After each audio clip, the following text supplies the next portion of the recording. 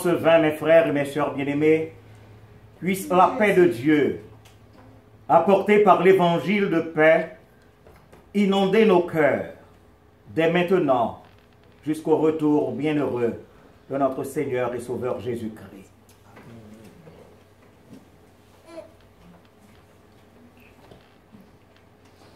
À chaque fois que nous mangeons de ce pain, à chaque fois que nous buvons de ce vin, nous annonçons la mort et la résurrection de Jésus-Christ, notre Sauveur, jusqu'à ce qu'il revienne. L'Éternel est mon berger, je ne manquerai de rien. Il me fait reposer dans le vert pâturage. Il me dirige près des eaux paisibles. Il restaure mon âme. Il me conduit dans les sentiers de la justice à cause de son nom. Quand je marche dans la vallée de l'ombre de la mort, je ne crains aucun mal, car tu es avec moi. Ta houlette et ton bâton me rassurent. Tu dresses devant moi une table en face de mes adversaires. Tu réduis ma tête et ma coupe déborde. Oui, le bonheur et la grâce m'accompagneront tous les jours de ma vie, et j'habiterai dans la maison de l'Éternel jusqu'à la fin de mes jours. Amen. Béni soit le lien qui nous unit en Christ, le saint amour, l'amour divin que verse en nous l'Esprit. 264, Chant d'espérance, section française. Au ciel, vers notre Dieu, avec joie et ferveur, s'élèvent nos chants et nos voeux, parfums, doux au Seigneur.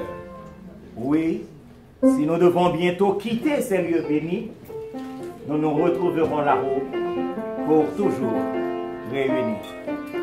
Música